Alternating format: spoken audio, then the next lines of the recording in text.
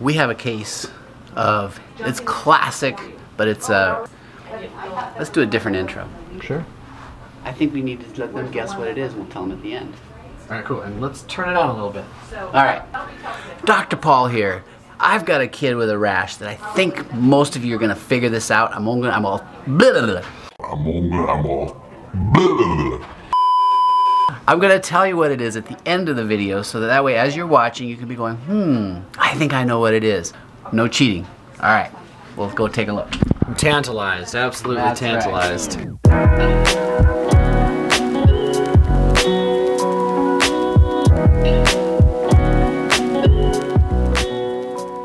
Alright, there he is. So this this guy behind the camera, that's my little boy. He's not so little anymore. We call him Big No No. When he was little, he was Little No No. he started having a rash sort of in the the diaper area 1st mm-hmm. on Friday. Today's Monday, so Saturday, Sunday, Monday, three days ago. Yep.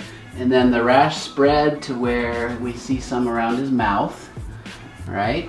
And even on the arms, we're seeing some rash on his arms, probably on the tummy a little bit. Yeah, a little bit on his tummy. He's definitely got it on his feet.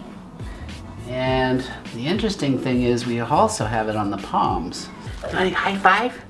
Yay, mm. good job. Other high five.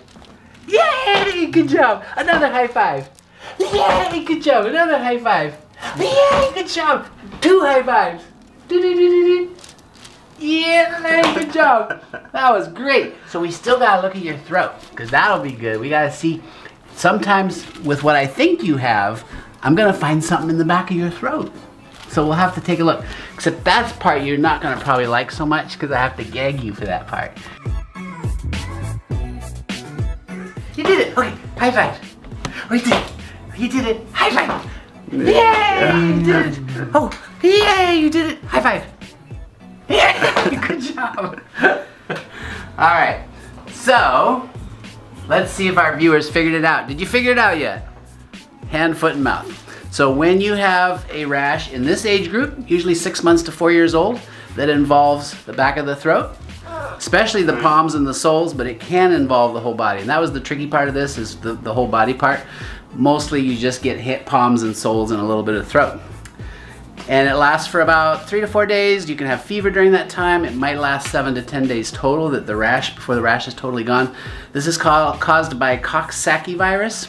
And it's so contagious that everybody that's been exposed who's young, in other words, they've never seen this virus before, they're gonna get it. So if you're in daycare, you don't have to be excluded because everybody's already been exposed.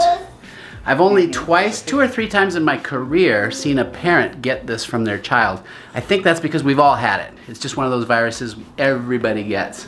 So nothing to worry about, no big deal, but at least you now know what hand, foot, and mouth looks like. Thanks for watching. I'm Dr. Paul, and a big thumbs up for our high five guy.